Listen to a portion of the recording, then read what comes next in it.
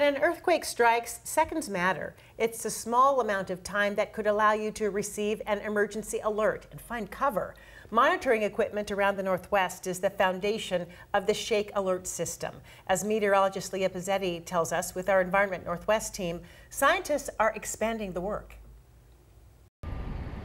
A small box with a big job. We're tucked away into a lot of janitor's closets or IT closets at schools and fire stations. Doug Gibbons, research engineer at the Pacific Northwest Seismic Network, shows off this seismometer hidden in a popular place at the base of the Space Needle. And this is how fast data is getting back to PNSN and being analyzed for things like earthquake early warning and the Shake Alert project. This is one of hundreds around the Northwest, part of a growing list helping with faster earthquake alerts. The shaking from that epicenter is going to hit a station sooner if there's more stations. If we only have a handful of stations, that seismic wave may have to travel dozens of miles before it's detected uh, which eliminates several seconds of potential extra warning. The team has been expanding the network through the last decade. In 2014, there were just 240 seismometers around the Northwest.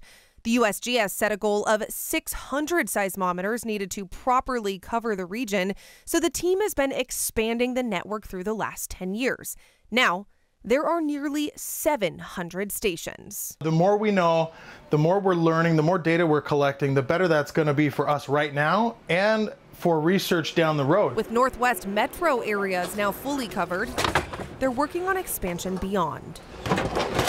Doug and a team of PNSN scientists are preparing for a journey. We've got water distributed in this trailer, that trailer. They're taking their monitoring to new heights. Yeah, it's a complicated process to get these things up on the side of a volcano, especially a volcano as remote as Glacier Peak. They're upgrading the single outdated seismometer on the mountain. What's up there right now is kind of like a black and white TV, and we're putting a 4K TV up there. This upgrade is years in the making.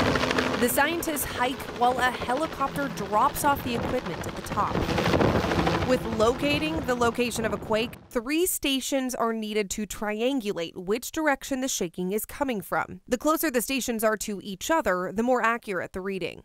Volcanoes like Mount St. Helens and Rainier have about 20 stations each, giving detailed information on the exact timing and locations of quakes there. On Glacier Peak, the current closest stations are miles away in Leavenworth and Darrington. The goal here is to add at least a few more seismometer locations to Glacier Peak to better understand this mystery. And Glacier Peak hasn't had really any locatable seismicity over the past 30 days.